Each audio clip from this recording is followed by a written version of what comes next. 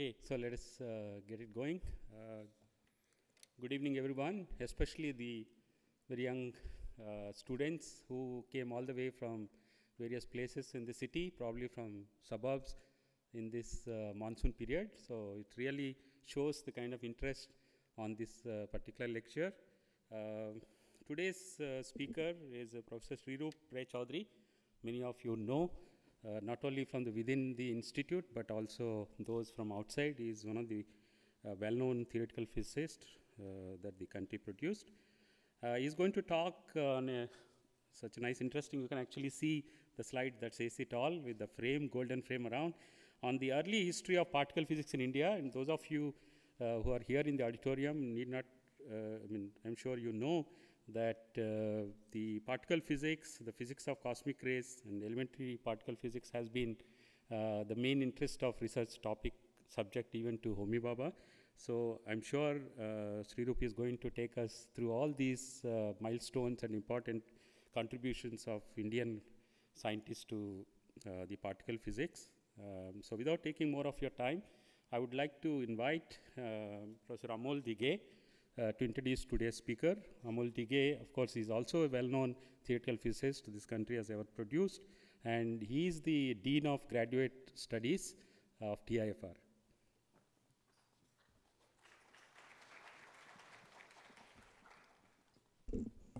So, welcome again uh, to you all. Uh, it's a pleasure to introduce uh, Professor Srirup Rai Chaudhary.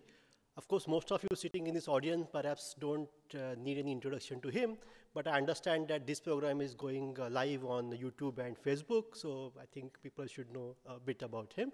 Uh, he is, of course, one of the well-known uh, theoretical particle physicists in India, but compared to these early days, uh, he actually came on the horizon quite late. Uh, so, so he did his PhD from the University of Kolkata, and he was a postdoctoral researcher. Joined um, uh, IIT Kanpur and uh, was there for many years. However, at some point of time, we did manage to snare him off from there and bring him to TIFR. Um, he is, uh, apart from being a, a very good particle physicist, he's also known as a very good teacher and a very good speaker and I'm sure you will enjoy his talk. Uh, before, without coming between you and his talk, let me invite him and uh, let's enjoy the talk. Welcome, Shiru.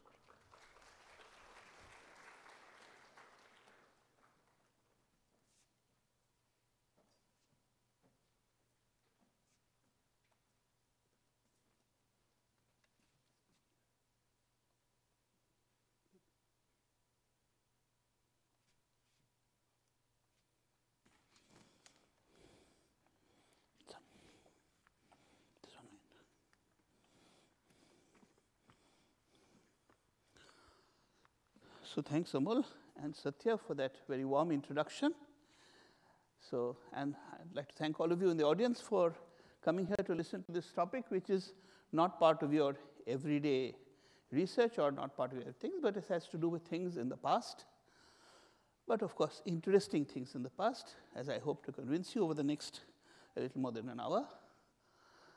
Uh, let, I'll tell you about the way particle physics cosmic ray research and so on started in India and how it was taken ahead.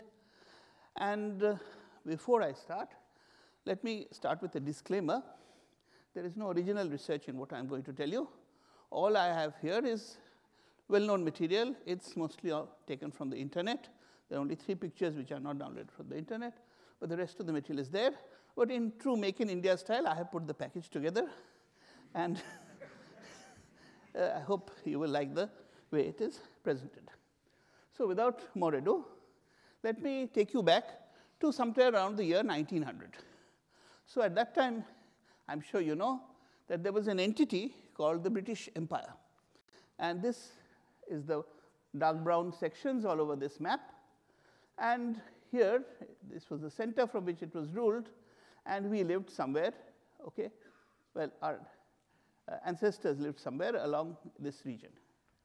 So all the science which was happening, the Western science or the origins of particle physics happened in this area, and from here it had to come here. Now, in those days, this was not, it was not the days of internet and Google and so on.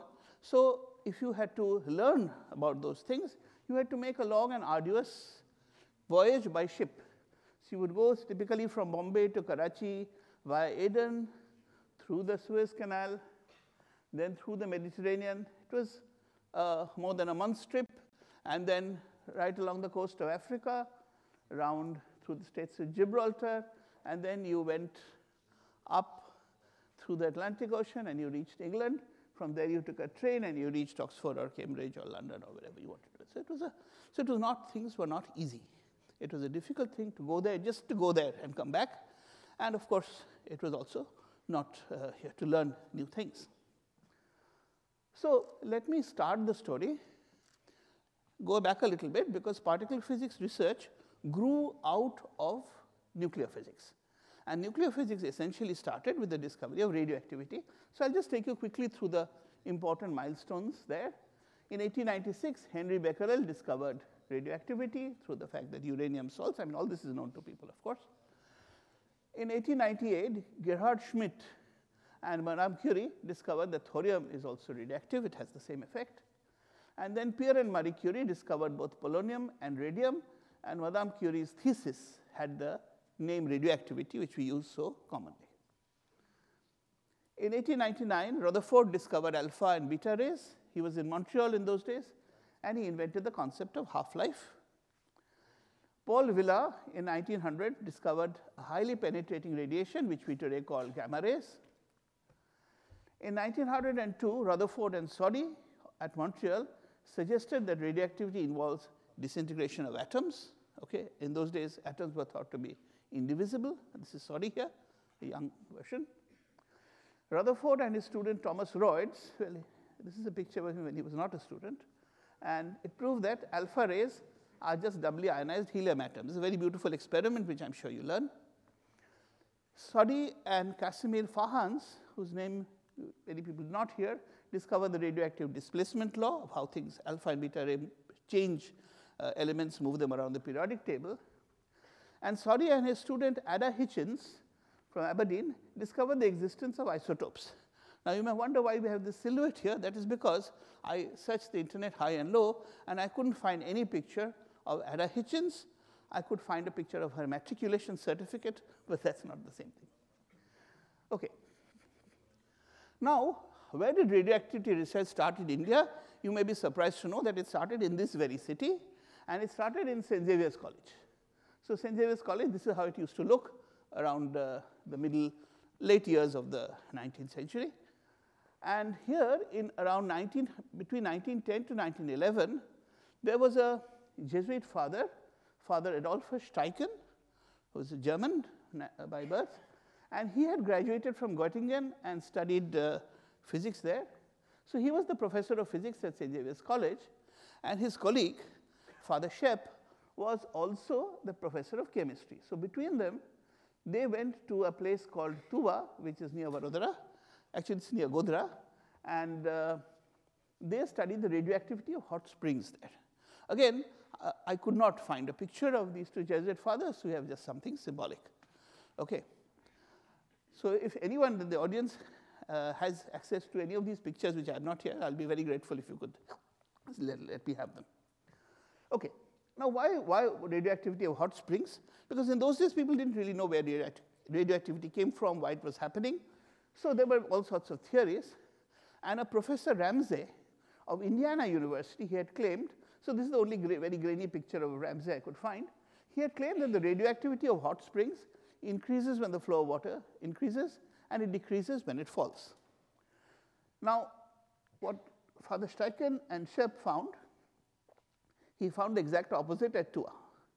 And they attributed it correctly to saying that, okay, the reason is that there is some radioactive rock, which is solid, and the spring is leaching out that uh, water, and therefore, when the water flow increases, the uh, amount of radioactive material is diluted, so you see less. So they had the correct explanation, whereas uh, Professor Ramsey's results must have come from a place where the increased water was also washing out more material. So that's, we can guess that now. However, this, uh, so you may think these are results are trivial, but in those days they were really surprising things. So uh, their paper, which came out in 1916, so you may wonder what happened. If they did the work in 1911, why did the paper come out five years later? And the reason is that in the meantime, the First World War had broken out, and both of them were German nationals. So they were put in an internment camp near Nainital as enemy aliens. And it was from there that they obtained permission to send the paper. It had to go via the sea route. And of course, during wartime, everything was censored. Anyway, eventually they managed to publish it. So I'm telling you this story because I'll have the opposite story to tell soon. Later, Father Steichen was given a grant to study the hot springs in the Madras Presidency, as it then was, which is most, most of the south of India then, from 1918 to 19. This is a five-year project, and we have a memoir that he was given a grant of 1,000 rupees to do this. So 1,000 rupees was supposed to cover his, his uh, money. It was supposed to cover the cost of hiring assistants, travel, stay, equipment, everything was to come within 1,000 rupees. So also this tells you how far 1,000 rupees would go in five years in those days. I want you to particularly remember this figure because I'll show you some other figures as we go ahead. Okay, well, this was not the only place. The other place was the newly formed Indian Institute of Science. Again, this grainy picture shows you how the original building looked. It still looks much the same. So in 1914, Herbert Watson, who was a young assistant professor at the ISC, he conducted a study of radioactivity in the rocks along the Kolar township and gold mine. So if this is Bangalore or Bengaluru, this is Kolar. It's not far away. The mine is fairly close. And these are some of the oldest rocks in the Earth's crust, which belong to the Gondwana block. And the gold mines were then providing samples from about four kilometers down. So they wanted to see whether if you go into the interior of the Earth, will you find radioactivity? So the work of Watson was helped by his assistants, Gosto Pal and W.F.S. Smith, who was in the geological department. Again, I couldn't find pictures of them. But they didn't find any radioactivity in these rocks. And their negative results were first published in the Proceedings of the Indian Academy of Science, which came out from ISC, and also in the Philosophical Magazine in the year 1914. So there were negative results. They just said that when we went, we didn't find any radioactivity. Later, Watson left India two years later. He joined the University of London as professor of chemistry, and they say that he invented neon lighting independently. But that's a different story. But of course, once he had left, these people also, I mean, Smith went back to his geological studies, and Gosto Pal went back to Kolkata, where he wrote a famous textbook of uh, chemistry. Okay, now, of course, there were further developments in nuclear physics as the years went by. So between 1908 and 1910, as you know, Rutherford, uh, Geiger and Marsden, Rutherford students, made a lot of observations of alpha particles. Everyone studies this in their coursework. And Rutherford explained that this can be only explained if there is a nucleus. So it followed that the new hydrogen nucleus was the first elementary particle to be discovered, and you call it the proton. Niels Bohr in 1913 explained the atomic line spectra using the new quantum theory. Moseley proved that the charge on the nucleus is equal to the atomic number, so supporting Bohr's theory. Rutherford in 1920 had some inkling of the fact that there is something called the neutron, but the real proof came from Dmitry Ivanenko, 1931, who predicted the neutron based on quantum mechanics and using the idea that beta electrons cannot stay within the nucleus. They must be produced at the moment by a neutron decaying. And in 1932, James Chadwick discovered the neutron. So all this is textbook stuff. What happened in India? So I couldn't resist showing you this iconic picture. So this is Sir J.C. Bose in the center, and around him are some of his students who all became very important scientists in early India. Meghnad Saha and S.N. Bose you have heard about. J.C. Bose was director of ISC, also founder of, first director of IIT Kharagpur, founder of the IIT system. Snehamoy Datta was a spectroscopist. Nikhil Sen, general relativist also well-known colloid chemist, and also a well-known soil chemist. So these people sort of were the pioneers of starting science in India. But the person I want to concentrate on among them is the one whose name I didn't read out, that is D.M. Bose, or Sir Devendra Mohan Bose, who was J.C. Bose's uh, nephew. All right, so this is the picture on the poster. So D.M. Bose is how he used to look as a young man. And the story really starts with him so in 1907, he sailed to England and he enrolled himself at Christ's College, Cambridge. Now, uh, you have to remember that in those days, there were no postgraduate departments in India. all the colleges used to teach undergraduate up to bachelor's, and to do a master's or beyond, you had to go to England. There was no other way, or some other country. So D.M. Bose went to England and enrolled in Christ College, where he was fortunate to have some very good teachers. One of them was uh, Sir J.J. Thomson, who discovered the electron, and one of them was C.T.R. Wilson, who invented the cloud chamber. Now, Bose's inclinations were always towards experiment, and therefore it was Wilson's work which really excited him. So here is a picture of the actual cloud chamber built by Wilson.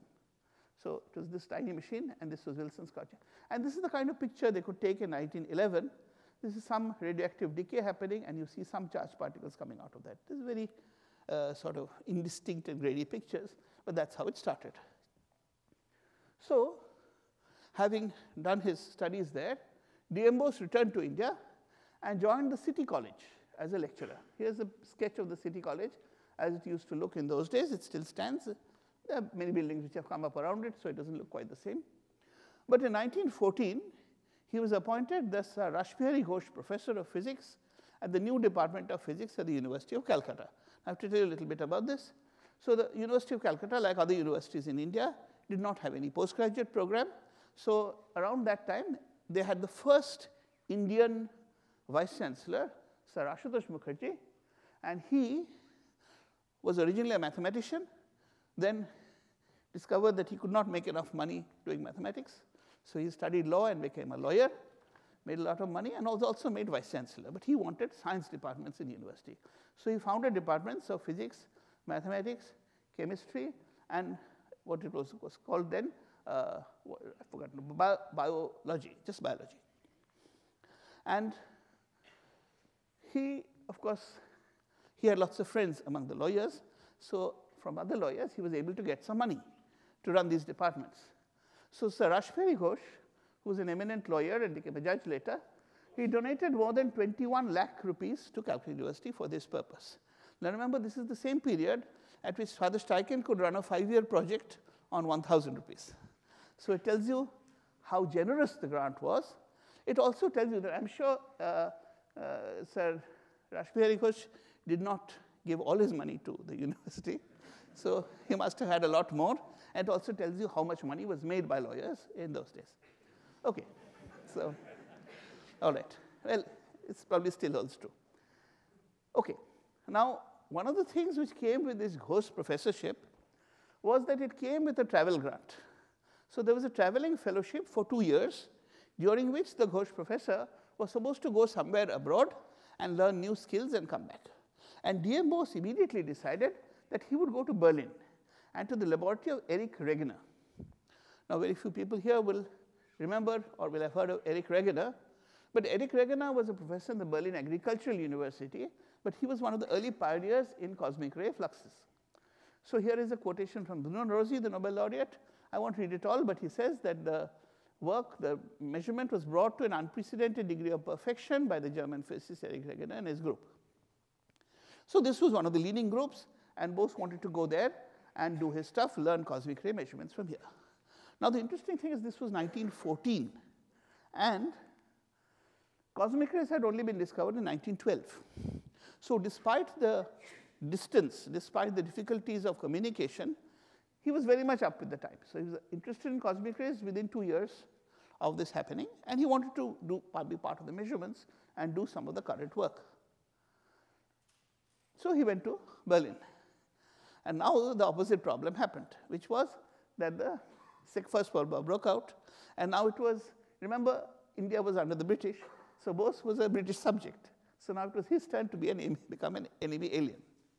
However, at that time, the Germans were better, uh, treated him better.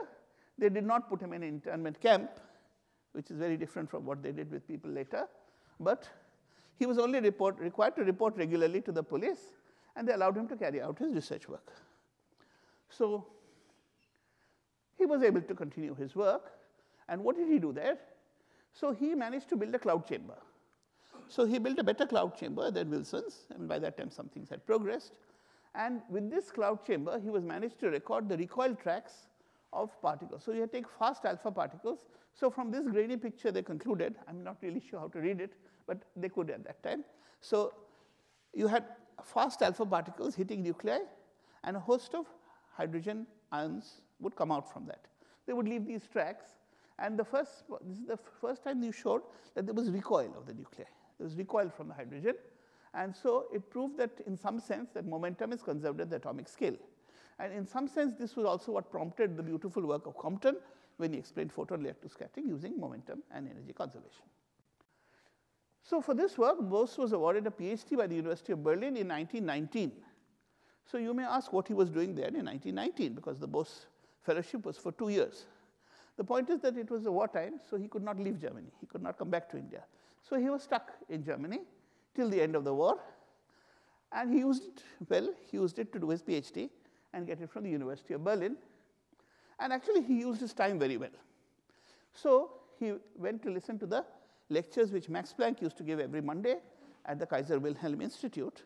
And he really liked the lectures. He said, after attending Planck's lectures, I learned what a system of physics meant in which the whole subject was developed from a unitary standpoint and with a minimum of assumptions. But Bose was not the only person listening to Planck's lectures, and others did not have the same kind of response. So here is another one. so clearly, uh, it did not appeal equally to everyone. Okay, so now let's come back to India.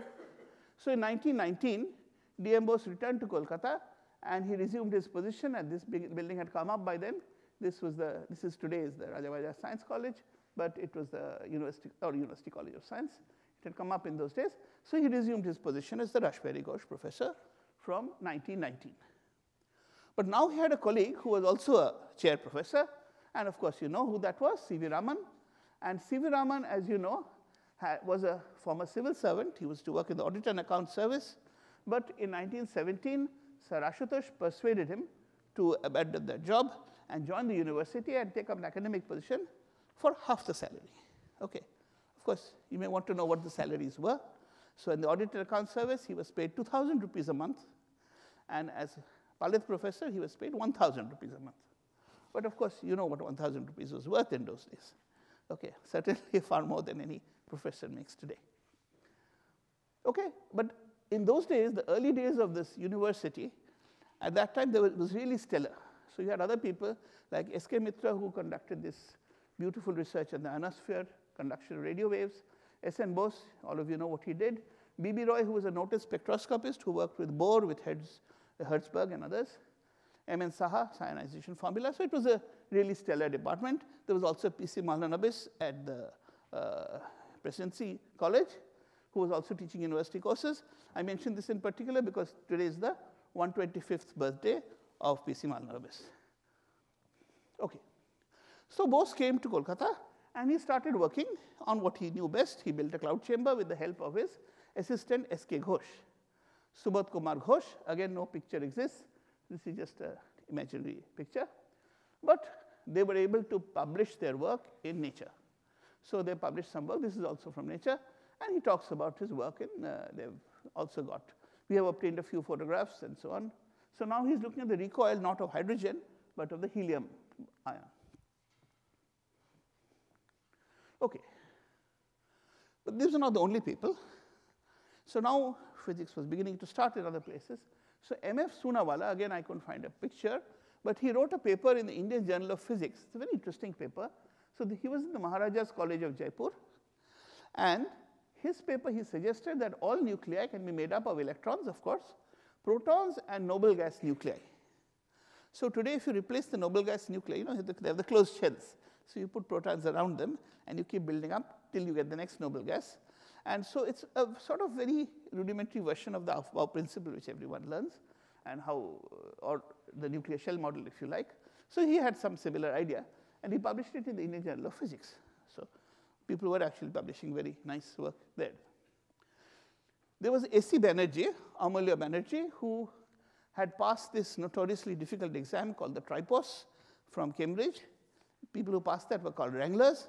And he was a wrangler, and he came and joined Allahabad University, where Meghnad Saha had also moved from Calcutta University, and they were the first Indians to apply quantum mechanics to the study of nuclear spectroscopy. So pioneering work in those days. There was a third person, B.M. Sen, who was also a wrangler from Cambridge, but he wrote a number of papers in Nature and the Philosophical Magazine on beta rays. So he was trying to apply relativity to beta rays. Relativity was very new in those days.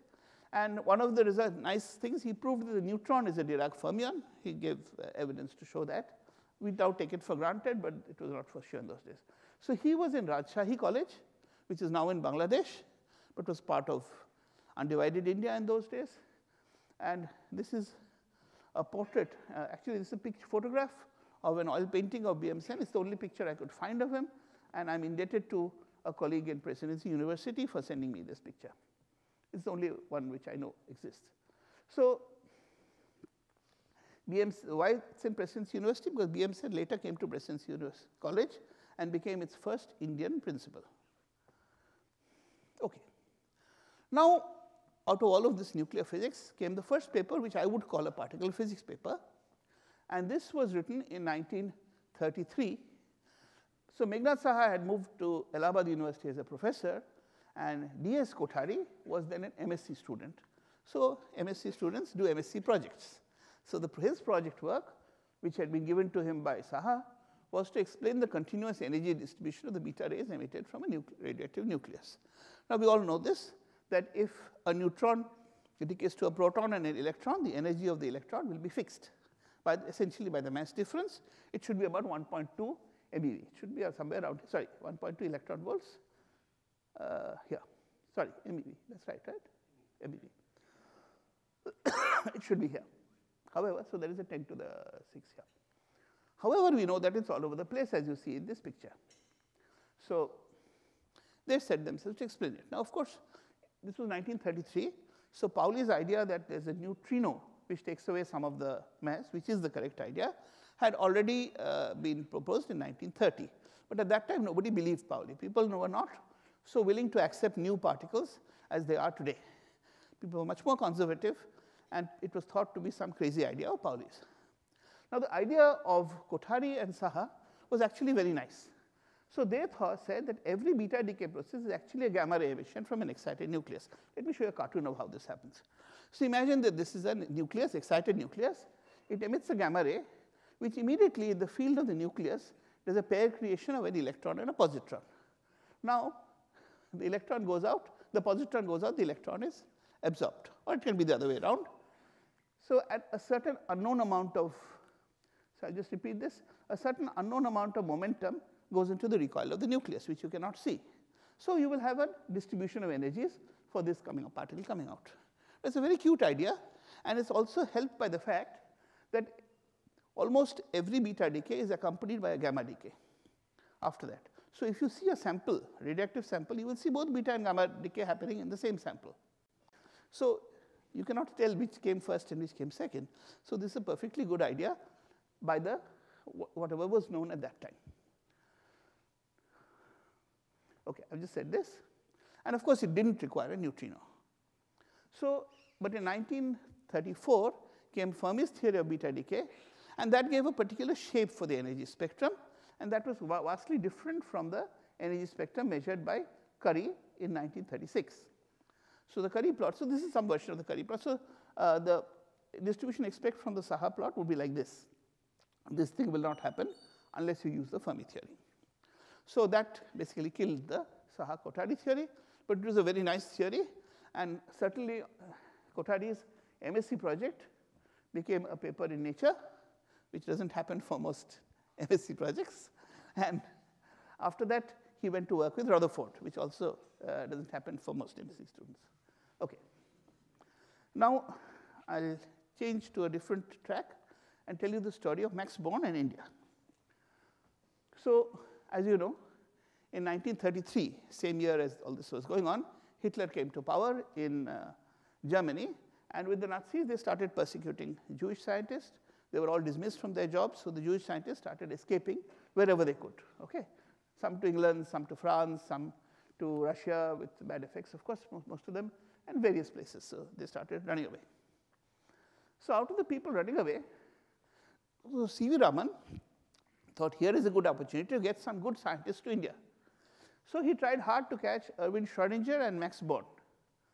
Now Schrödinger, after saying this and that, refused, But Born was actually interested, and Hans Bethe and Rudolf Peierls, they wrote that if Born came to India and set up a school, they would be interested in coming.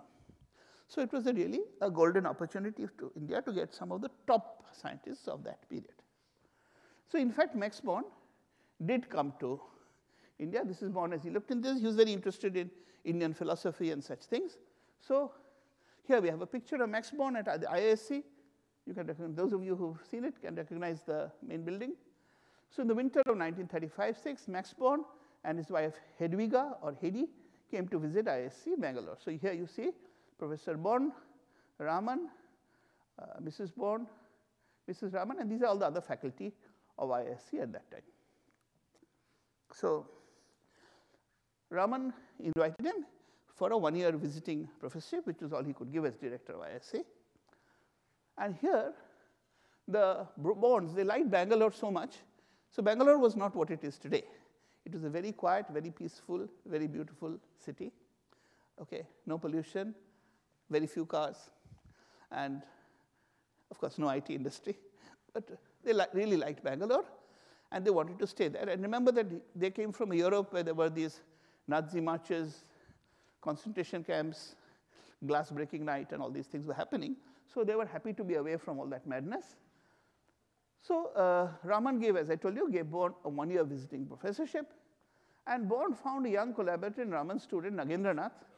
So this is a picture of Nagendranath, with whom he wrote a paper in the Proceedings of the Indian Academy of Sciences. As I said, it came out from Bangalore. And it was called the neutrino theory of light.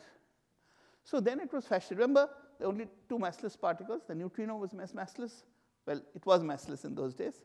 And then the photon is massless. So the idea was that perhaps the photon is a composite of a neutrino-antineutrino pair.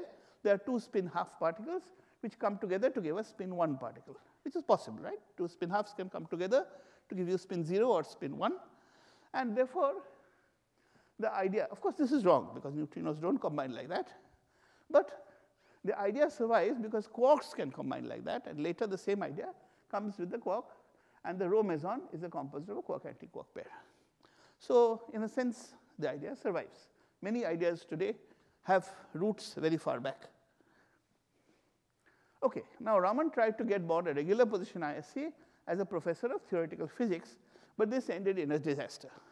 So in the IIT faculty, which consisted only of the IIT professors, an Englishman called William Aston, who was an electrical engineer who knew nothing about theoretical physics, he stood up and said that the IISc cannot create a chair for a second-rate foreigner who couldn't find a job in his own country. And we are IISc, we cannot offer a job to anybody and everybody. So IISc refused to give a permanent position to Max Born.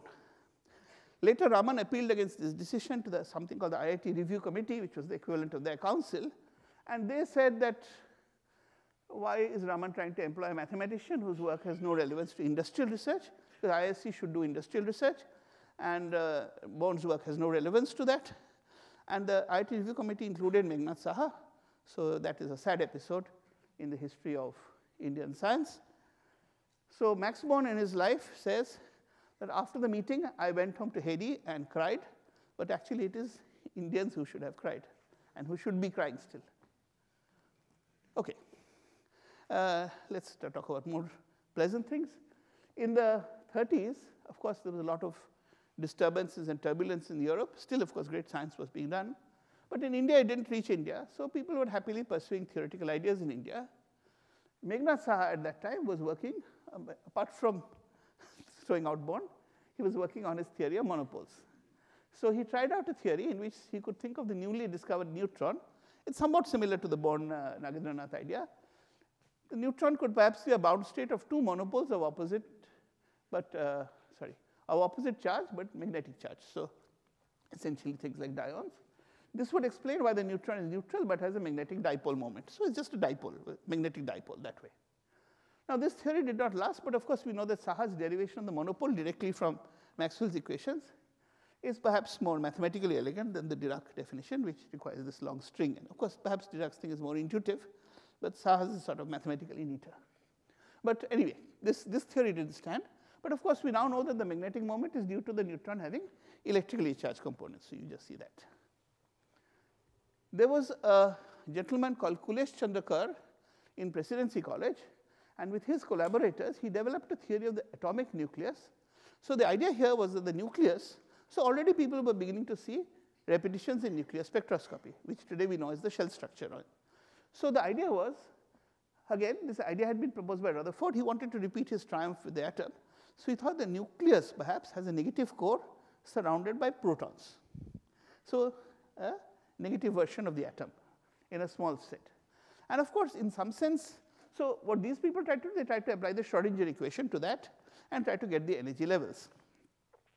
In a sense, this is similar, the mathematics is similar to what you would do in the nuclear shell model, which came much later. Of course, after that, Kar went into doing something else. He was one of the first people who started criticizing Einstein's relativity, but he had scientific reasons, not racial reasons. And today, if you look at, there are websites which talk about quote unquote alternative science, which are mostly based on misunderstandings of correct science.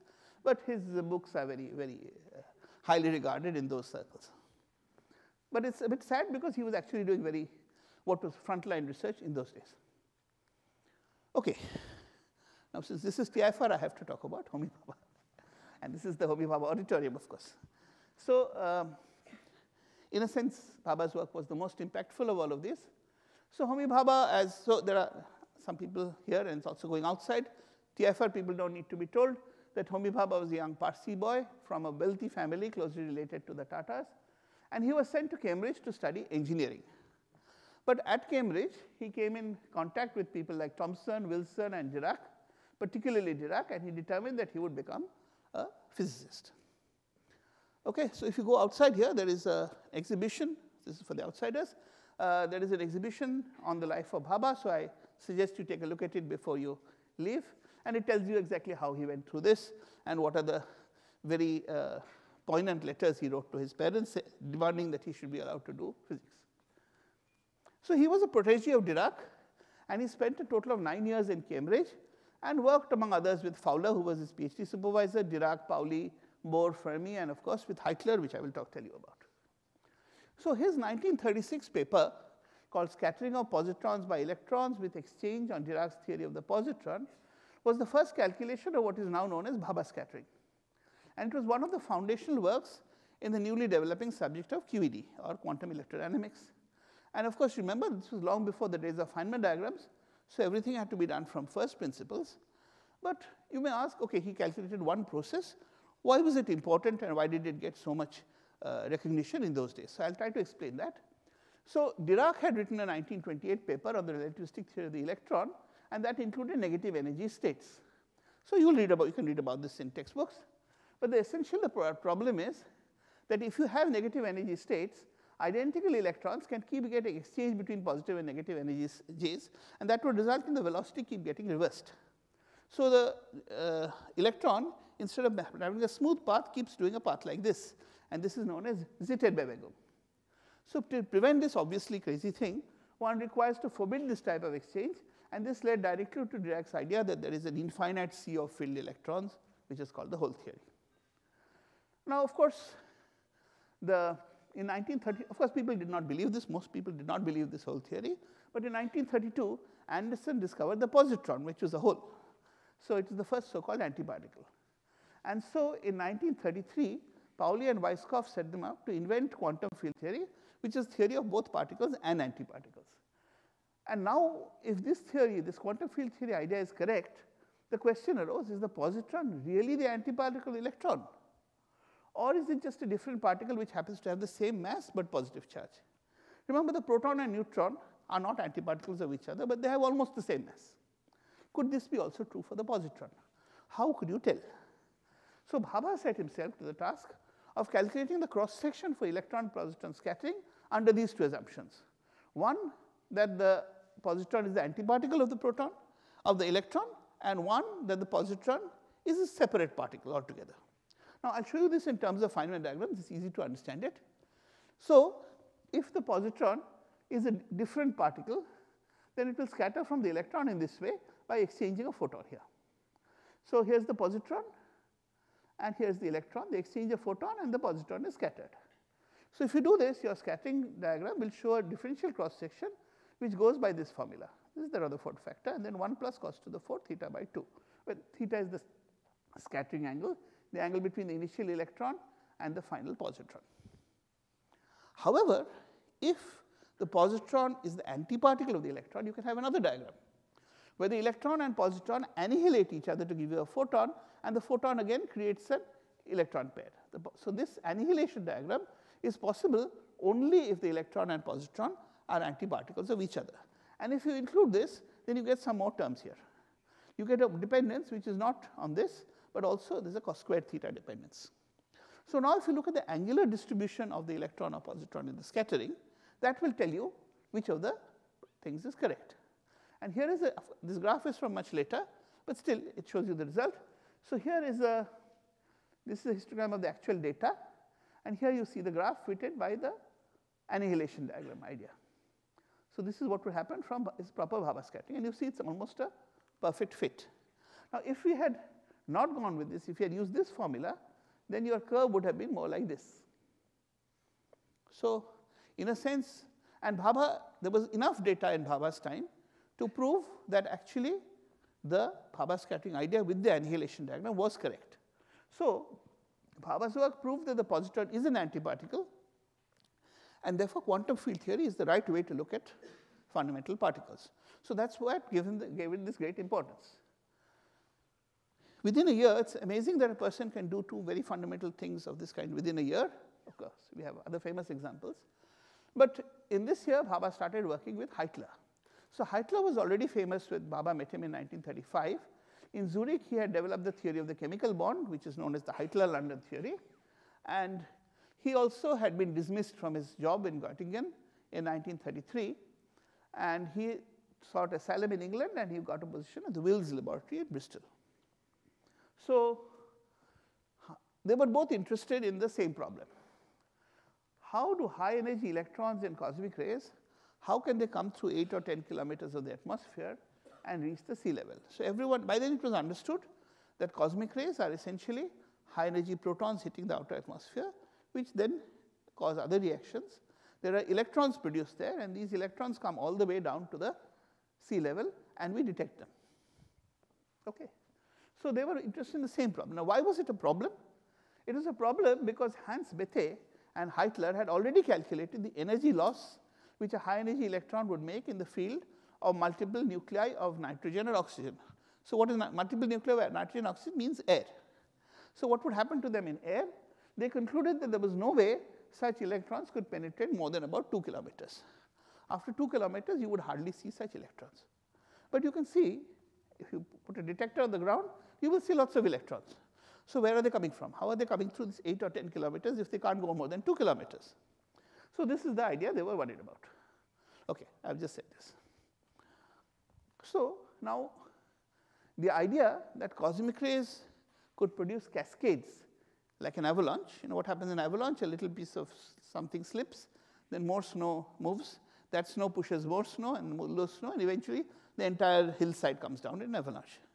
So, the idea of an avalanche that that's the kind of thing could happen was in the air. Okay. Bhabha had heard it from Hugh Carmichael who was at Cambridge, and Heitler from Lothar Nordheim, who was at Munich. But these seniors didn't take this cascade idea too seriously because they didn't believe in quantum electrodynamics. It was a very new idea, and they thought that there must be some mistake in the Bethe-Heitler. They didn't, didn't bother to really work out the Bethe-Heitler theory. They thought there is something wrong in Bethe-Heitler. So they didn't worry too much about it, but they had told these people. But these younger people, and of course Heitler took his own work very seriously. He could hardly say Bethe-Heitler was wrong. So they took it up seriously and they came up with this beautiful paper, which is called The Passage of Fast Electrons and the Theory of Cosmic Showers, Bhabha and Heitler, Bhabha from Cambridge and Heitler from Bristol. And of course, their idea is what is now in the textbooks, that an initial cosmic comes, creates a long, big shower of lots of different particles. And what you see as electrons at the ground level are not the ones which are being produced up there, but they're the ones being produced down here within two kilometers. So that explained this problem. Now, the Bhabha-Heitler theory was published in 1936 in the Proceedings of the Royal Society. No World Wide Web in those days. So, a year later, in 1937, Carlson and Oppenheimer published the same results in the Physical Review, but they were too late. It's known as the Bhabha-Heitler theory and not the Carlson-Oppenheimer theory. So, they missed the bus in that sense. All right. Now, Bhabha's remaining years in Cambridge, I call the Midas years. You must know of the story of King Midas. Whatever he touched turned into gold. So at this time, it was like that with Bhabha. Whatever he worked on produced excellent results. So in 1936, so the cosmic rays in those days were found that there's something called a hard component, which seems to be coming from the top of the atmosphere, which is not absorbed like electrons. And it seemed to be a new particle similar to the electron, but about 100 times more massive. Of course, we know today it's the muon. And in 1937, Anderson and Neddermeyer had discovered the muon, which is like the electron, but which is 200 times more massive. So, eh, but it was Bhabha who had first suggested that this hard component you are seeing is due to a new particle. It's not any of the particles you know, it's not a high energy electron, it's a new particle. So that idea first came from Bhabha, which is not so well known. In 1935, Yukawa predicted the pion. Why? He said there's a spin zero particle mediating interactions between spin half nucleons. So if you want to write the interaction, spin half plus spin half, as I said, combines to give you spin zero or spin one. So the spin zero had been used by Yukawa. So Bhabha pointed out that if there is spin zero, there had better be spin one also. So he predicted the rho meson. And this was in 1937. The actual rho mesons were discovered only in 1961 showing you that Bhabha had made this prediction way ahead of time. Then came perhaps the most commonly used result. So muons were seen to be decaying within about 2 microseconds. Multiply that by the speed of light, and you will only get a small distance. How are muons coming from the top of the atmosphere down? So Bhabha proved that that is not due to cause showers, but that is because of time dilation. Now remember that Einstein's theory of relativity, this was, this was during the just before the Second World War had started. So there was a huge attack on Einstein's ideas. People started calling it Jewish metaphysics, wrong ideas, it's all sorts of things. But Einstein, here was Bhabha showing that, look, here is relativity which gives you exactly the right time dilation and which shows that this is coming. Now today, everyone does this as an exercise, right? It's given to you as, a, as an assignment or an exercise. Perhaps you're asked to do it during an interview. So explain it. But this was first shown by Homi Bhabha in the days when a lot of people didn't even believe in relativity. Okay, so these Midas years then passed, and as you see, that Bhabha was very highly regarded by his contemporaries. You see him here with some very famous scientists, and it does look like Bhabha is doing all the talking. but of course, this is from a film. all right. Now, so if Cambridge was Bhabha's Eden, his paradise. Well, like humans were thrown out of paradise, Bhabha had to leave Cambridge. And the particular snake in this case happened to be this gentleman you see here. So in summer of 1939, he came home from Cambridge. He had not come home for six years. So he came for a vacation with his family. And before he could return, the Second World War broke out. And all civilian passengers were banned from going on ships. Why is that? Because the Germans had sent these U-boats, which were actually submarines, and therefore civilian lives were at risk. Only military ships could come and go. So Bhabha was stuck in India. He could not go until this ban was lifted. So now he was forced to seek a job in India. And of course, there was no lack of takers. So for a while, so Kothari tried to uh, lure him back to uh, Allahabad. And Raman tried to take him back to Bangalore. So Raman made him many, many promises. Some of those letters are in our archives here. And he promised him that he would give him all the facilities he needed to start a cosmic ray group in IISc Bangalore. So Bhabha was taken in by all these promises. He went to IISc, and Raman gave him a couple of empty rooms and said, Here, set up your cosmic ray group. So young researchers, young uh, experimentalists will be very familiar with this phenomenon, I guess. so, anyway, but Bhabha did, for the first time in his life, Homi however, faced the reality of doing science in a colonized country. He'd been born with a silver spoon in his mouth, went to the best institutions, went to Cambridge, participated in the very uh, vibrant scientific atmosphere there. But for the first time, he came and started seeing the reality of doing that. And remember, in India, there was hardly anything. To give him credit, Bhabha worked very hard during this period. For six years, he worked very hard in Bangalore. He both tried to set up an experimental cosmic ray unit, and at the same time, he did some of his theoretical ideas. But I think it is also fair to say that none of this theoretical work has the impact of his Cambridge work. Perhaps it was because he was away from the environment, perhaps it was because he was trying to pursue all the ideas which he had not pursued in Cambridge. Whatever be the reason, he did excellent work there, but none of it has that impact and that uh, originality. So here is a picture of two things. Here is Bhabha trying to launch a balloon to measure cosmic rays from uh, ISC. Uh, and here is a picture of a paper written by Bhabha and Corben. So they set up this classical theory of spinning particles. So generalization of Dirac's equation known as the Bhabha-Corben equations. So he was working, had lots of students, was active, but against all the odds which he faced. Now, the difficulties he faced, especially the experimental part, convinced him that he needed to build institutions. And so at that point, he became an institution builder.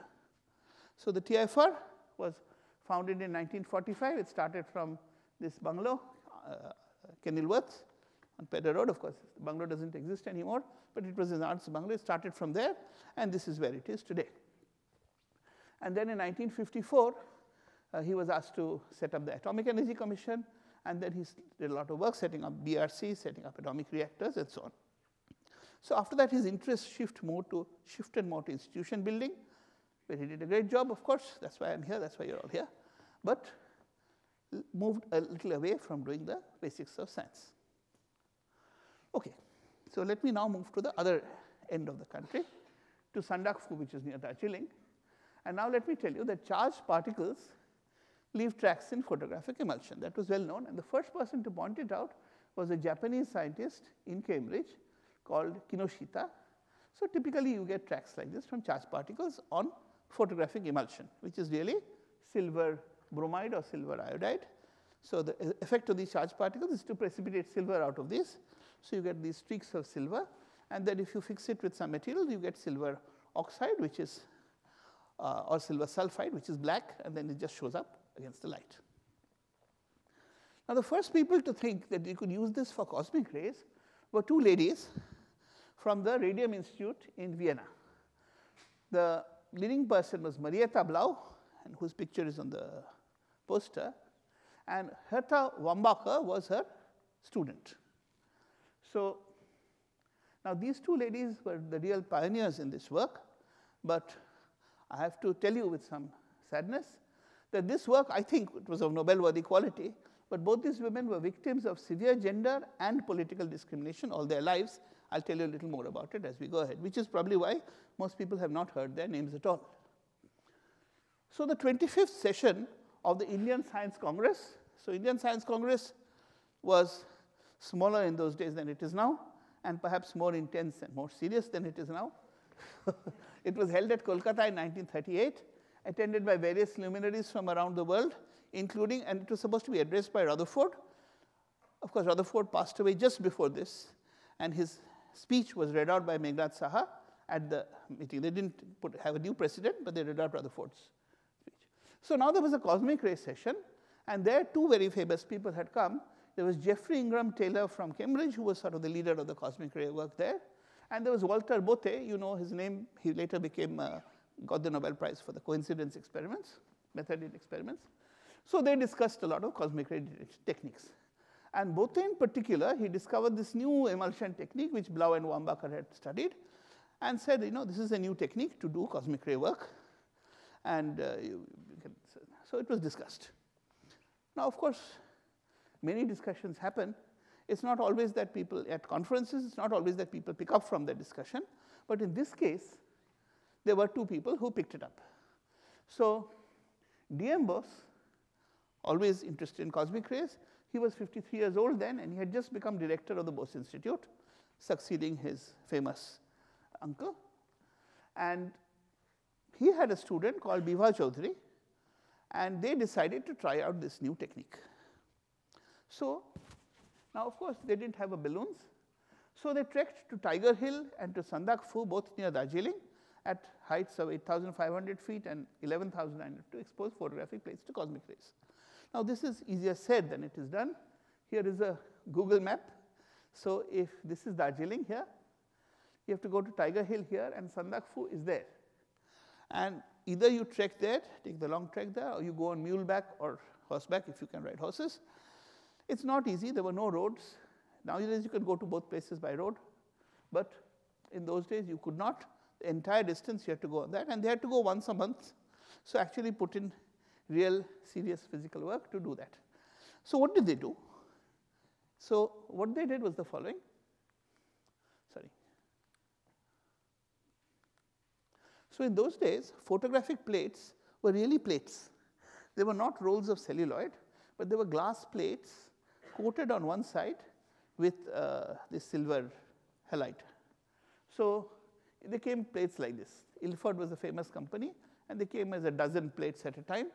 And this is actually how they looked. Here is a, here's a box, and you had these glass plates with coating. So they used to take these plates, take a stack of these plates, and expose them to cosmic rays. By the way, what you did with those plates was you had things called a box camera. Some older people in this audience have seen it, I guess. You opened the front of this, you pushed the plate in right to the back, closed it, covered everything with a cloth, and took an exposure. And then you took out the plate and washed it. And it is with this technique that such iconic pictures of the Second World War and so on were taken. So they did this exposure, and soon they were able to use it to start detecting. So mesons were the new thing in those days. So they were called mesotrons. Yukawa had called them mesotrons.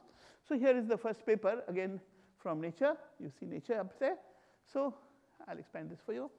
So here's this paper, photographic plates as detectors of mesotron showers. And he says, in the last two years, we have been using this and so on. And this is signed D.M. Bose, B.Y. Chaudhuri. It's a detailed account of the trans transaction of the Bose Institute. So he was promoting his own journal, but it is from the Bose Institute. And it's a bit uh, fuzzy, but you can see the references to Blau and Wambacher, Bothe, other famous names, Wenzel, Heisenberg, and so on. So there are also people who have done this. Now, there was a rumor, which I had heard that, that they had actually discovered the pion, that they had actually discovered the pion before it was formally discovered. So let's investigate this question. So the first thing I need to tell you is that during the war, they had access only to what are called half-tone plates coated on one side. All the plates which were full tone, which were coated on both sides, were reserved for war work, for air reconnaissance work. And they were not available even to English civilians, they were only reserved for the military. And of course, quote unquote natives would not even be allowed to touch them. So uh, they had to work with half-tone plates. And half-tone plates give you very grainy pictures. Can someone recognize that building in the picture? It's Howrah Station, as it used to be then, and this is a modern picture. So you see the difference, how grainy the picture was. So remember, the physics was also be done at this level of resolution. So they found mesotron. So they found uh, length of the track. From there, they calculated the mass. And here are the, so this is the actual mass of the muon, as we know it now. Actual mass of the pion, muon is about 105 MeV, pion is about 140 MeV. And here is the, here are the, so I've just blown up this last, two, last column here and converted it to MeV. This m naught is the mass of the electron. So you see what they had found. They had one data point which is close to the pion. Others are closer to the muon or even less and they have a huge error. Okay. The error is about 25%. So it's difficult to conclude from here. It's likely that most of what they saw were muons. Maybe there was a pion which they also saw, but they certainly did not understand that there's a difference between the two. At that time, nobody did. So we can't blame them, but they certainly were the first people to try to measure um, these masses of, of the mesons and to use this technique. So they were certainly pioneers in this respect. Okay, let me tell you about the real discovery of the pion. That happened after the Second World War and partly because of it. So these four people, Powell, Occhialini, Muirhead, and Lattès. So Blackett, who had been involved in a lot of war work, he asked the plate manufacturers now give high density people because you want high density plates for the Cold War. You want to have planes which will take high resolution pictures of what the Russians are building. So the government sort of told these people, you make do what these people tell you. So Powell, of course, had easy access to this, so he was also involved in the war work. And Lattès was the person who suggested that put more boron in the emulsion for whatever reasons. But this worked like magic. So in the very poetic words of Powell, which he gave during his Nobel lecture. He says it was as if suddenly we had broken into a walled orchard where protected trees had flourished and all kinds of exotic fruits had ripened in great profusion. The exotic fruit, of course, here was the pion. So these are pictures from their actual paper. And if you see here, there are three tracks here. Each of them has a track like this, a track like this, along, and then another track like this, a faint track like this.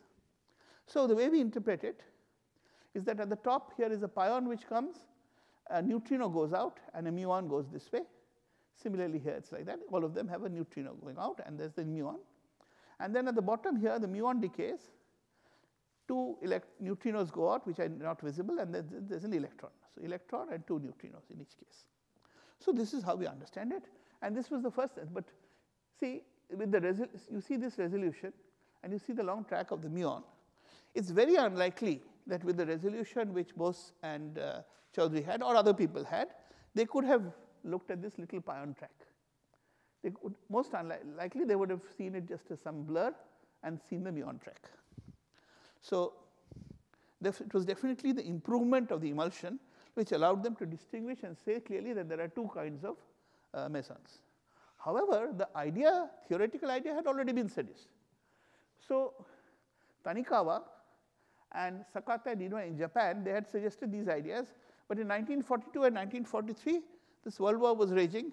Japanese journals did not go anywhere outside of Japan, so nobody else read it.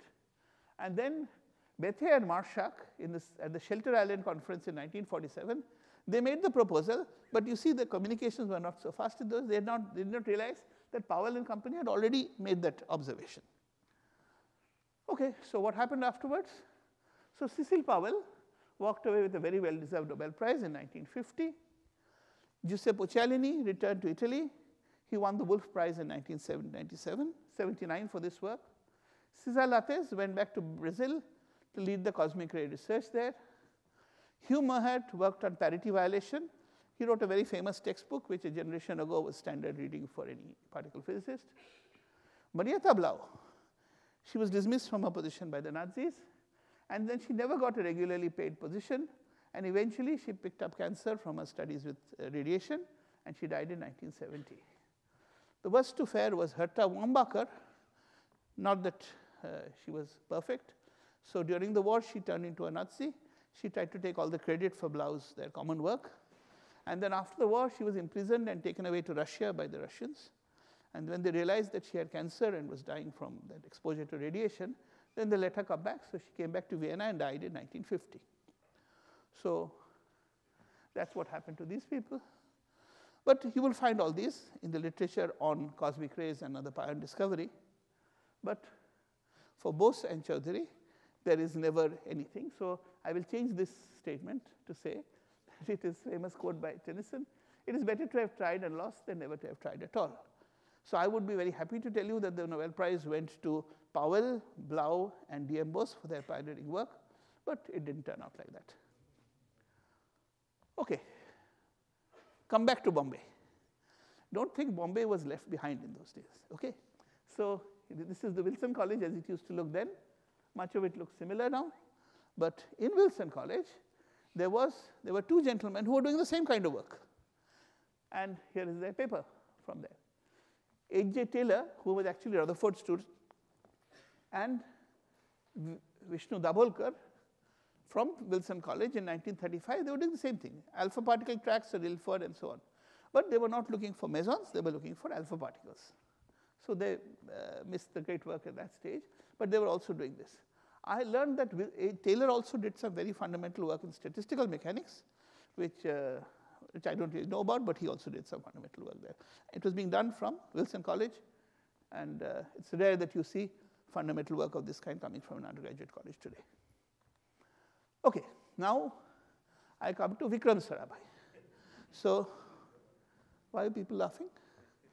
Oh, sorry, sorry, I have the wrong picture. Okay, sorry. sorry. So perhaps Vikram Sarabhai could have had a different career also if he wanted to. But so he also came from a very rich house and he had a passion for science.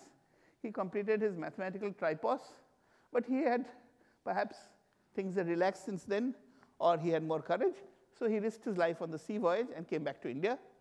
And Raman, who had this jeweler's eye for bright people, he immediately offered him an, see, this guy was just passed his some kind of bachelor's degree, and Raman immediately offered him an assistantship at the IISc. Now, he was only 21 years old at that time, and there was Bhabha who was 10 years older than him.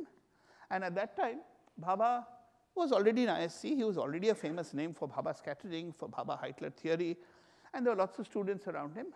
But Sarabhai did not attach himself to Bhabha. He decided that he would work on his own, and he had the courage and confidence to do that even at the early age of 21.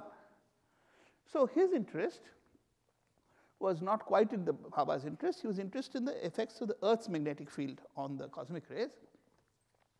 So during the six years of the World War, he, uh, for 40 to 45, six, he published six single author papers, all in these famous journals. So here is one for, again, interested in mesons. Here is another one, and there are six of these, all single author papers from there. And then after the war, he went to uh, back to Cambridge.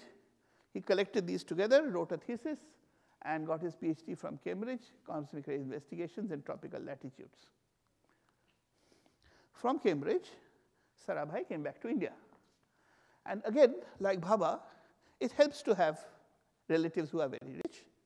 So again, like Bhabha, he had money from his own family, money from his family friends. He collected that and started a new institute, which of course is the PRL today. And he was only 28 years old when he founded this. But unlike Bhabha who became the director of his own institute, Sarabhai preferred to remain a simple professor at his institute. He roped in K.R. Ramanathan, who was Raman's student and who had retired from the Indian Meteorological Department to be the first director. So to do all the administrative work while Sarabhai could concentrate on the science. So only when uh, Sarabhai Ramanathan retired in 65, Sarabhai took over as director. But you can imagine that he must have had a big say in things. So during this period, he trained 19 PhD students, among whom was the last surviving was the late U.R. Rao, who had been chairman of the thing. So here's a picture of U.R. Rao as a young man, and of course, as you know, I think he died a few months uh, back. So Sarabhai was a very simple person, and he worked immensely hard. He worked so hard that he died at 52, and people say he died of sheer overwork. Okay. Now, what happened? Sarabhai's interests. So his, first he was interested in cosmic rays. As you see, he was interested in the effect of the Earth's magnetic field on cosmic rays. So then it changed to planetary magnetic fields. From planetary magnetic fields to solar physics, the connection is clear. From solar physics to satellite-based observations. And if you want satellite-based observations, you need to launch satellites. So that is how he came to found ISRO. And here you see him uh, as the founder of the India Space Program. There is another famous person in this picture. Can anyone recognize him? This one. This is Abdul Kalam, yes. Well, his hair was short in those days. All right. So finally, today, if you, when you see a PSLV launched, you must remember this is because Sarabhai was interested in cosmic rays. All right. So let me talk about the cosmic ray group at TIFR, come back to TIFR. So Homi Bhabha was the leader of the group, of course. But then he was mostly involved in setting up BRC and the DAE, not so interested. I think he would come here only on Wednesdays.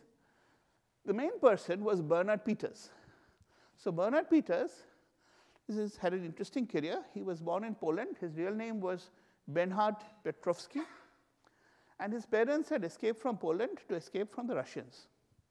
Then Peters grew up in Germany. And then because he was Jewish, he had to escape from Germany to the US to escape from the Nazis. During the US, he worked on the Manhattan, the atomic bomb project, and so on.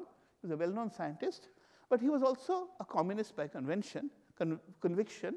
So, after the war, when the anti communist hysteria, the McCarthy years, started in the US, he had to escape from the US and he came to India.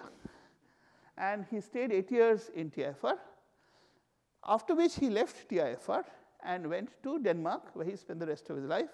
We don't know why he left India, but I hope it was not to escape from Homi Bhabha. But let us. So, now, so he was the real leader of this group.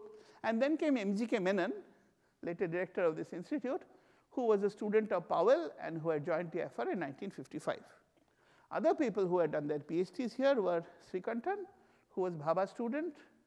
There was Devendra Lal, student of Bernard Peters. And there was Yashpal, who later came, did his PhD with Rossi at MIT. And of course, we know he's famous. And of course, uh, to most people, uh, Yashpal, this face of Yashpal is not famous. The one which is more familiar is the Yashpal of Turning Point, those who have seen it many years ago, of course, even that is many years ago. Okay, and here is a list of the first few theses done from here. The first thesis was by R.P. Thatte, we have that in the library here. And of course, in the beginning, Homi Bhabha was the only recognized guide, so everyone was Bhabha student. Later, you see others coming in, Peters, those are uh, M.G.K. Menon, Dharmatti, and so on. And uh, on the, among the PhD students, Srikantan, Devendra Lal, Vijayaraghavan, P.V.S. Rao. So names familiar, very familiar to TIFR. So the 50s were a fabulous period for particle physics in many ways. Lots of new and exciting things happened.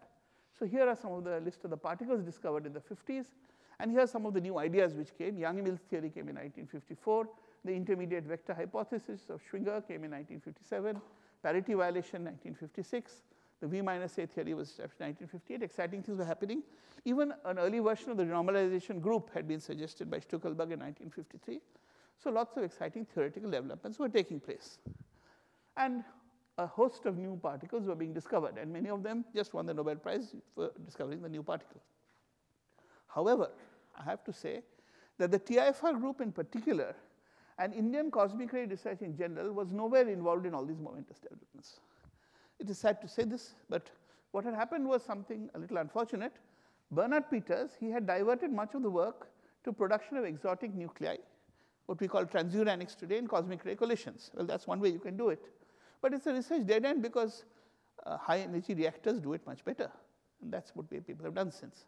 So much of the work which could have led to the discovery of all these famous uh, these particles was instead diverted to looking for heavy nuclei, which is at the other end.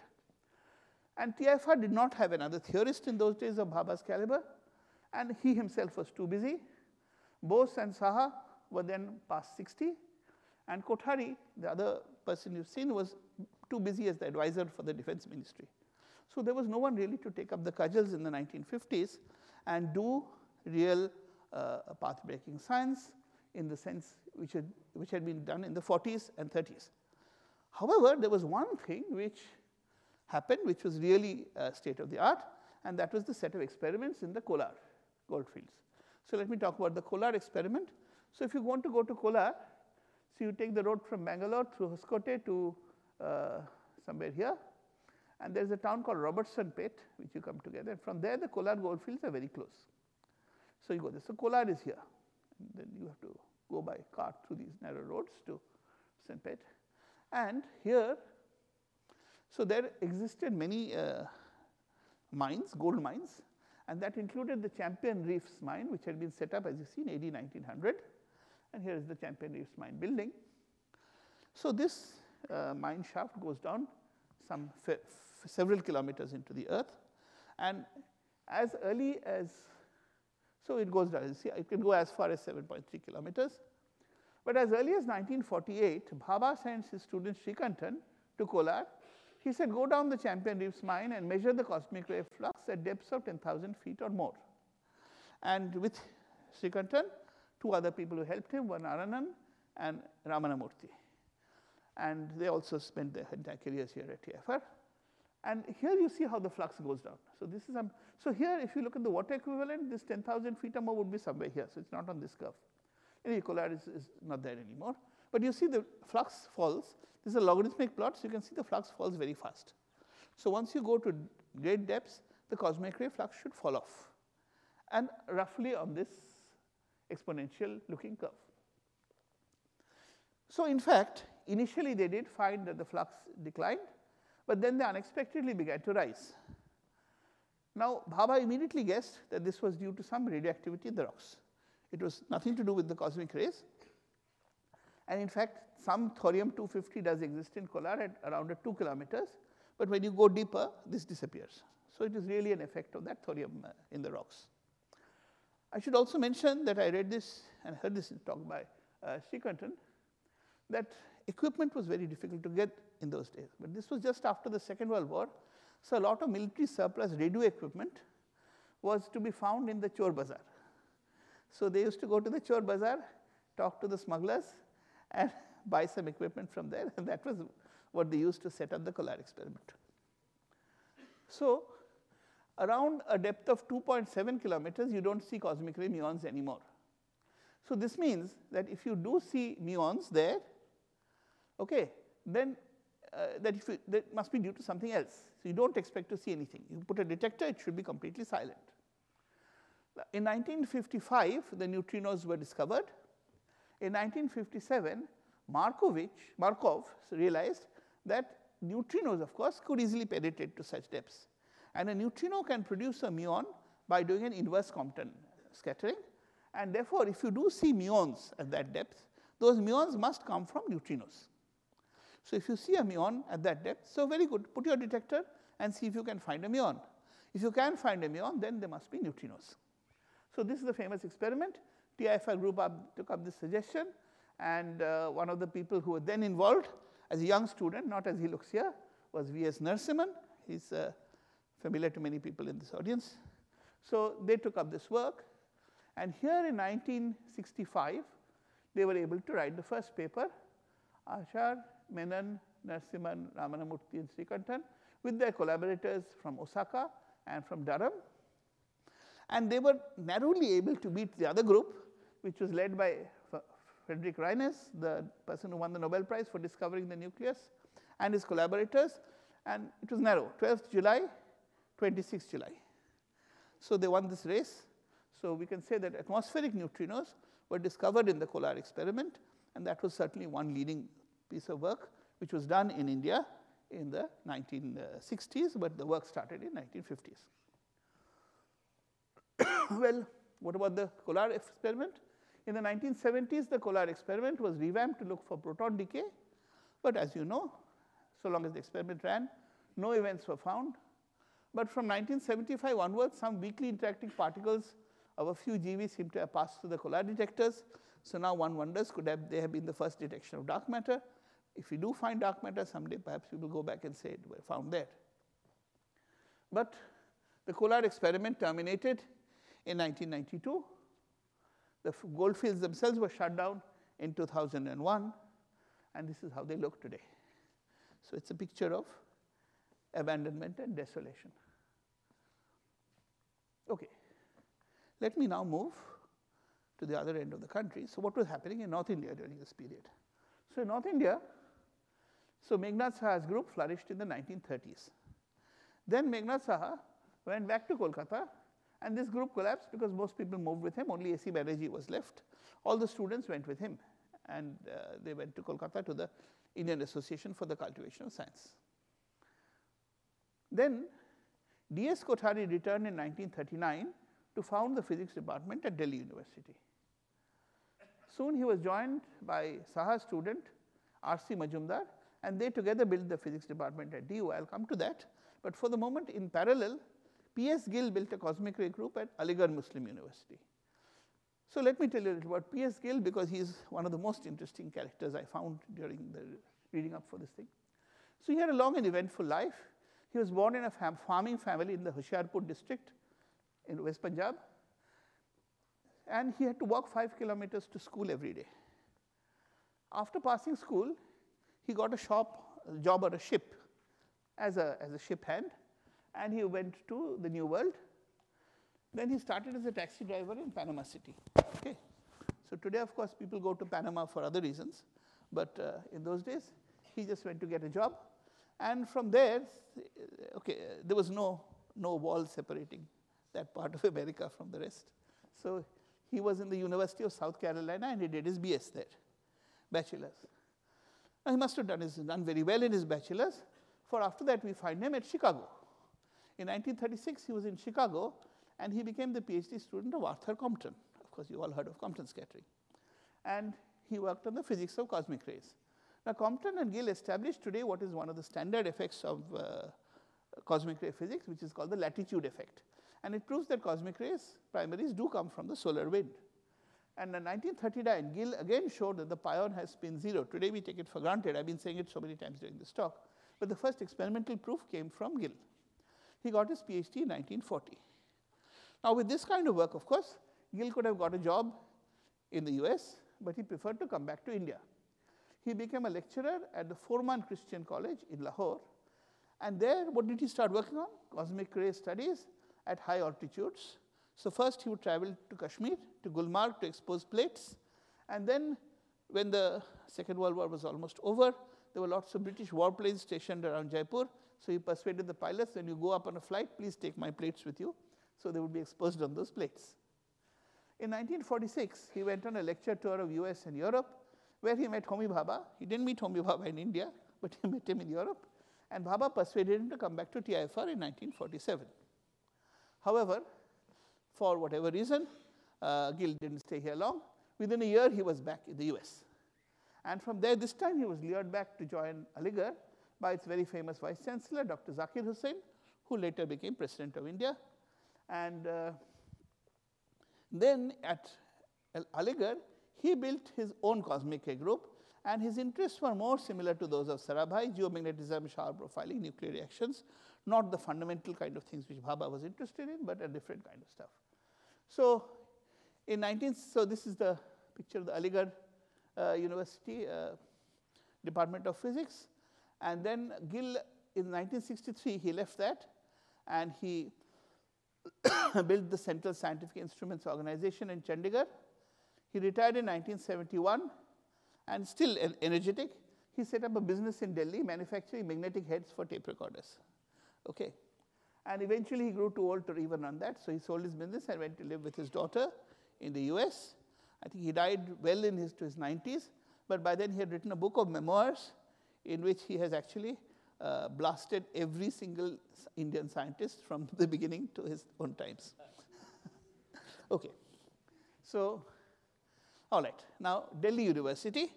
So, Delhi University had been set up by this gentleman, Sir Maurice Gwyer. He was the first vice chancellor, and this is at a picture of him at Oxford, where he developed his interest in India, and you see him with a couple of other very famous Indians. This was just after Tagore had given his, what, what lectures are there? The famous lectures on the crisis in civilization at Oxford. And they built up this department, which must be familiar to many people. And there, Kothari and Majumdar, they formed a complementary pair. So Kothari did all the government work, which means he also got all the grants and so on. And Majumdar basically ran the physics department. So they had a good understanding among themselves. So they, they, they, ran the department and built it up very nicely. So as early as 1942, Majumdar published a paper on electron-meson interactions with a very promising young MSc student called Suraj Gupta. So Gupta later, he's still alive. This is a picture of him uh, a few years back. It's on his website. But of course, Gupta is famous for the Gupta-Bleuler quantization. This is a page from the well-known book by Itzykson and Zuber. And you see, you talk about, it makes a chapter in this. Of course, this was not the work of Majumdar, but sort of these people were trained and inspired by this group. Similarly, there was another student of Delhi University called Jogesh Pati, who in 1974 wrote the first grand unified theory with Abdul Salam. That's the picture. And of course, that is what predicted proton decay. So again, a product of Delhi University and a product of this Kothari Majumdar and their group. Two other very famous people. There was S.N. Biswas, and who in fact is the only Indian to have discovered an elementary particle, co-discovered the lambda particle. He had come to TIFR for a short period, but after five years he went away to Delhi University, and then he shifted away from experiment and worked on theory. And two generations of students grew up and grew, grew up under his tutelage, and he was generally known to people as Dada Biswas. Of course, he has passed away now. A.N. Mitra, who is still alive, he did his PhD with Majumdar and then again with Hans Bethe, and he worked on this Bethe uh, ansatz, I think, for the most of his life. So he still, he still comes to the university sometimes, and his specialization has always been in dispersion relations and bound states in quantum field theory. Last part of this story, of this part, Alladi Ramakrishnan. So you see him with Niels Bohr here, and this child here is his son, Krishna Swami Alladi, who is a mathematician today at Florida, uh, Gainesville. And so Alladi Ramakrishnan was already came from a very famous family. His father, Sir Krishna Swami Alladi, was a member of the Constituent Assembly. And he grew up like that, and he, but he was interested in science. And he came to do his, started working with Homi Bhabha here, and started working on cosmic ray showers. so Alladi was perhaps the first to introduce the stochastic methods in particle physics to understand cosmic ray showers. Nobody before them had done that. And therefore, in some sense, this is the father of all the heavy Monte Carlo simulation work which is done today in particle physics. But I have not seen anywhere that people acknowledge that this uh, Monte Carlo simulations in particle physics were started by Alladi and Homi Bhabha. It's, uh, it's shown to start much later, but this is where it actually started. So after that, Alladi went to Cambridge, as most people, collected his work there and uh, got his PhD and came back to Chennai. And he joined the University of Madras, where immediately he fought with his head of department. So because he wanted to have a seminar. And the head of department says, this department is for teaching. We don't want all this seminar business. You do it at home. So Alladi started having the seminar at home. So he called it the theoretical physics seminar at his home. In 1960, this Niels Bohr came to India. He went all around India to various places, and including to Chennai, where Alladi invited him to come and join his uh, home, homegrown seminar, which Bohr liked very much. So later, when Bohr went to Delhi, and he was, in, he was interviewed by journalists, and they asked him, so what did, were you impressed by in India? He said, well, Homi Bhabha has built this nice grand institute in Bombay that I liked very much. And you know, I like this small and very intense group of discussions by Alladi in uh, Madras. So this appeared in the Hindu in those days, and such things impressed politicians in those days. So the Prime Minister, Jawaharlal Nehru, read that article, and then he called up the governor of Madras, whose name was C. Subramaniam. So C. Subramaniam, of course, people don't remember him today, except that you will, he was Reserve Bank governor at some time. So you will find his signature on some old notes. So Subramaniam actually contacted Alladi and said, uh, Prime Minister is coming to Chennai and he wants to meet you. So Alladi met uh, Nehru and Nehru said, okay, you have this nice group, how can I help you? So Chennai said, give me money and let me build an institute. So that's how Matscience started in the year 1962. So that's the start. Okay. Now, before I go ahead, let me just show you a little video. So please, please watch it while I get myself a drink of water.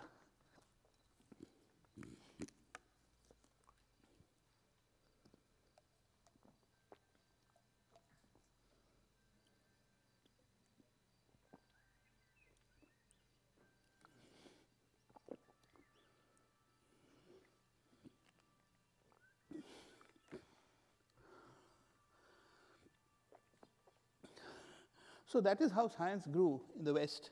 From small beginnings, it proliferated into various branches, various things. It grew over the years.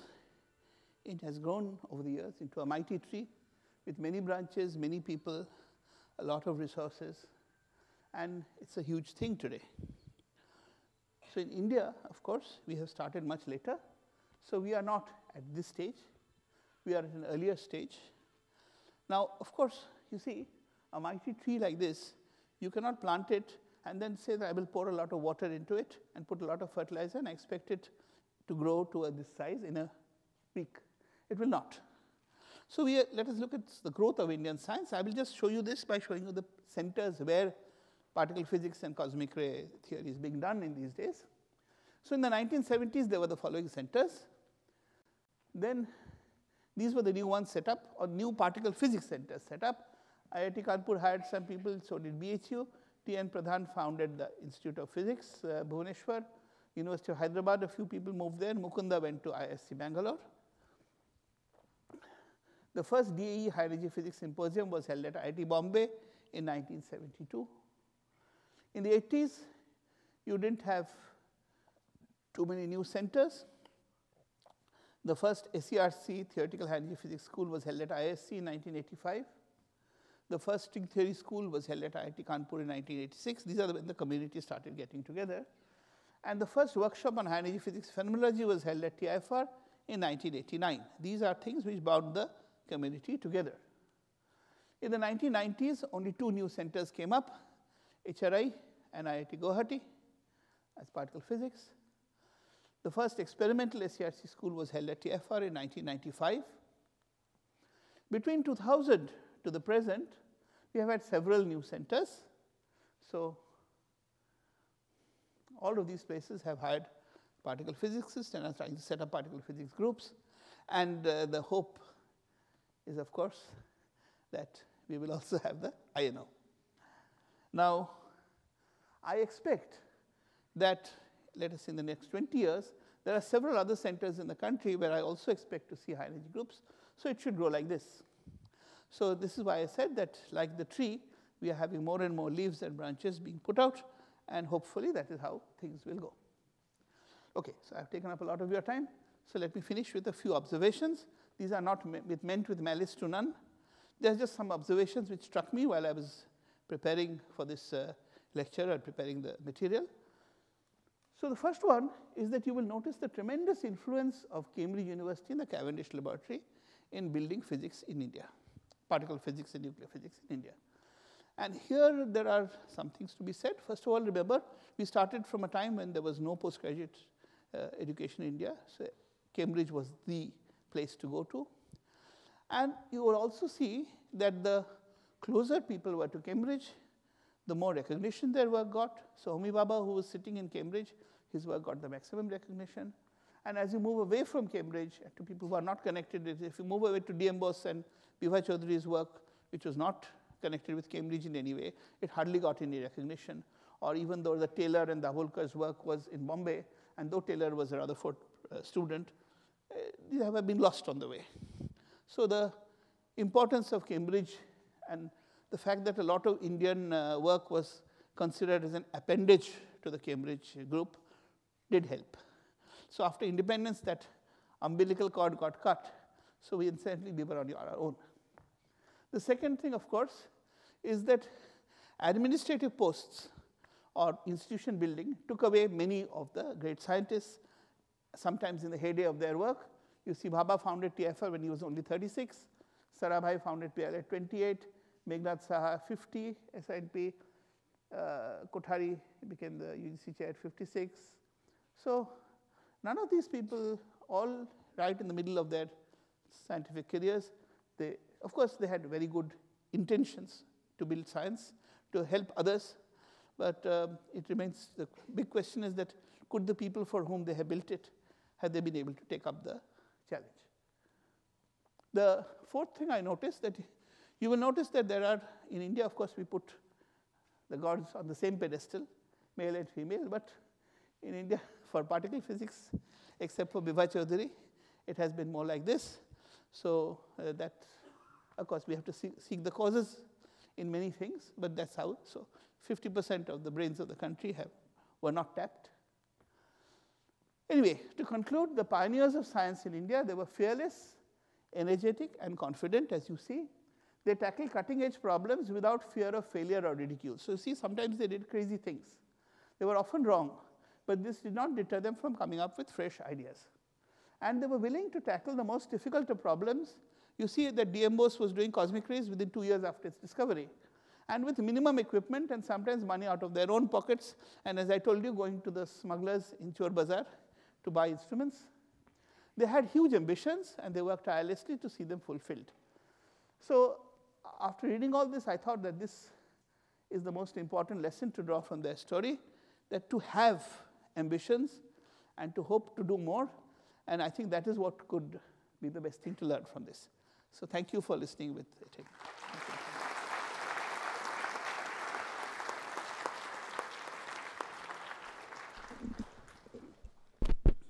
Thank you, Srirup, uh, for this very comprehensive, very exhaustive uh, kind of uh, history of the entire, uh, you know, spanning over almost 120, 130 years. Um, I know uh, we are quite uh, late at this time.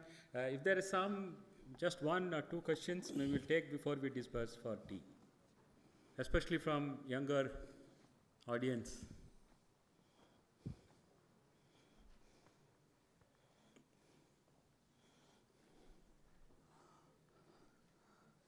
No? No questions? Yes. Yeah. Right. Uh, as he asked, I also want to announce the tea today is uh, being served in the Homi Bhabha cafeteria. Yeah, please. Why did you talk about uh, Satyendranath? Because the work he did is not quite particle physics. It's very fundamental to quantum mechanics. So there is very fundamental work in nuclear physics done by Magnus afterwards. He built the first cyclotron. And there is very fundamental work done by others, which I didn't talk about because I concentrated on particle physics. If I was going to talk about the history of theoretical physics or history of science, then of course Bose would have a huge part to play. But Bose's part work, the work which Bose did was more essentially statistical mechanics of those days, applying quantum mechanics to statistical physics. Yes. Ah. All right. Maybe it's going to be put up outside. Thank you. Can, can you take this? I will. Okay. Sure. One at the back. If, if you shout, yes. So, uh, I was fortunate to uh, attend some board lectures uh, in SIUT where I came across an interesting uh, actually system of units called natural units. So, I would like to know about the back. If,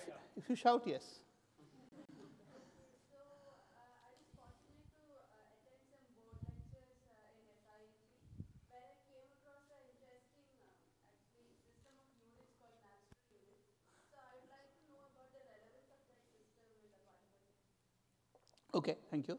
So all of particle physics is done using natural units, where you put c, that's the velocity of light, to unity, and h bar, which is the quantum, basic quantum of uh, angular momentum, to 1. So all of particle physics is done in that because it's the most convenient, makes the equations easiest to write. There is nothing fundamental about choosing a set of units, it's just, just that it's more convenient. And I think people have been doing that since at least the 1950s. So when I teach a course, the first lecture is on natural units. Okay, so let us thank uh, Srirup once again for this. Thank you. And, uh, Srirup, Thank you. Okay, thank you. a small gift for you. Thank you. Thank you. Thank you very, Thanks. thank you very much. Thanks. Okay. Okay, as I said, uh, today tea is being served in the Homi Bhabha cafeteria, which is just when you reach the No, no, not really.